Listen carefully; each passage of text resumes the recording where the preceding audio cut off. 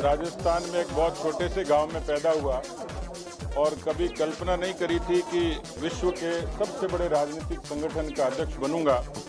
लेकिन इन लगभग 40 वर्षों तक काम करते हुए महसूस किया कि कार्यकर्ताओं का सम्मान कोई पार्टी करती है तो भारतीय जनता पार्टी है और ये कोई ताजपोशी नहीं है।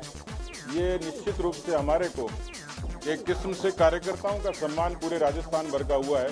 मैं कार्यकर्ताओं के सम्मान की रक्षा करूँगा। इस नियत के साथ पार्टी को और ज़्यादा वैचारिक रूप से और व्यवहारिक रूप से धरातल पर पहुँचाने के लिए हम लोग काम करेंगे। कांग्रेस मुक्त राजस्थान हो, इस बात की भरपूर कोशिश करेंगे क्योंकि लोकसभा के परिणाम से ये तय हो गया कि जनमत भारतीय जनता पार्टी के साथ है, जनादेश भारतीय जनता पार्टी के साथ है, लेकिन व्यवहारिक रूप से बूथ पर और ज़्यादा मजबूती हो पार्टी राजस्थान में एक अनुशासित और संस्कारित पार्टी के नाम से जानी जाए, इस तरीके की हमारी कोशिश रहेगी।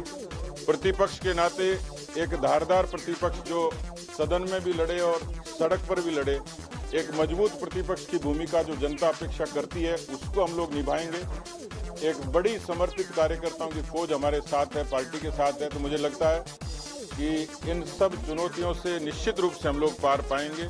आगे निकाय के चुनाव हैं, दो विधानसभा के उपचुनाव हैं। उन उपचुनाव को विजय श्री के मंत्र के साथ हम लोग इसका आगाज़ करेंगे।